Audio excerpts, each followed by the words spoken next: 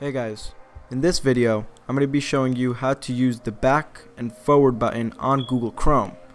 Now it doesn't necessarily have to mean only Google Chrome, this can be on any browser. So, without further ado, let's get on with the video. Alright guys, here's a situation which you can use the back button.